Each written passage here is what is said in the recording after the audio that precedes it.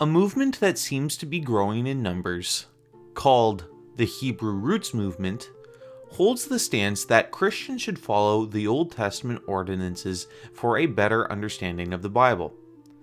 Their beliefs typically consist of keeping Sabbath, kosher dietary restrictions, in depth studies in Hebrew, partaking in Jewish celebrations, and other requirements.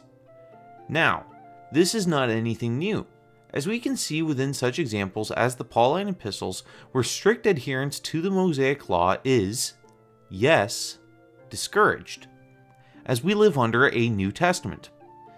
Let's turn to Matthew 5 for one of their proof texts. Matthew 5, verse 17 to 19. Think not that I am come to destroy the law or the prophets. I am not come to destroy, but to fulfill.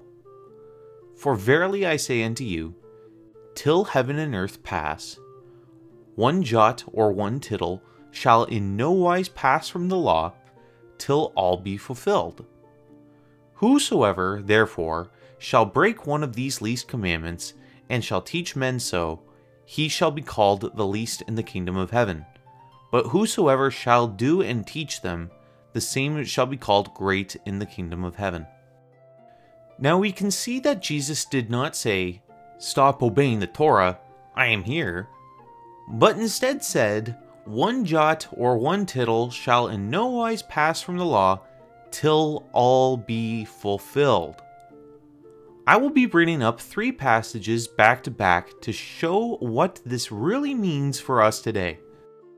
Luke 24, verses 44 to 47. And he said unto them, these are the words which I spake unto you, while I was yet with you, that all things must be fulfilled, which were written in the law of Moses, and in the prophets, and in the Psalms, concerning me. Then opened he their understanding, that they might understand the Scriptures, and said unto them, Thus it is written, and thus it behooved Christ to suffer, and to rise from the dead the third day, and that repentance and remission of sins should be preached in his name among all nations, beginning at Jerusalem. Hebrews 8, verse 13. In that he saith, A new covenant he hath made the first old. Now that which decayeth and waxeth old is ready to vanish away. Hebrews 9, verse 14 to 17. How much more shall the blood of Christ, who through the eternal Spirit offered himself without spot to God, purge your conscience from dead works to serve the living God? And for this cause he is the mediator of the New Testament, that by means of death, for the redemption of the transgressions that were under the first testament, they which are called might receive the promise of eternal inheritance. For where a testament is, there must also, of necessity, be the death of the testator. For a testament is of force after men are dead, otherwise it is of no strength at all while the testator liveth.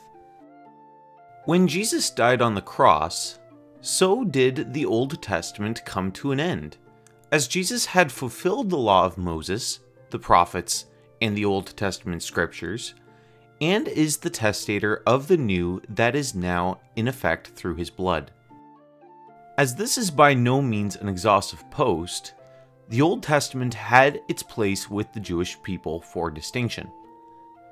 The intentions of moving away from a pagan Christianity are indeed virtuous, but are misplaced in Hebrew roots.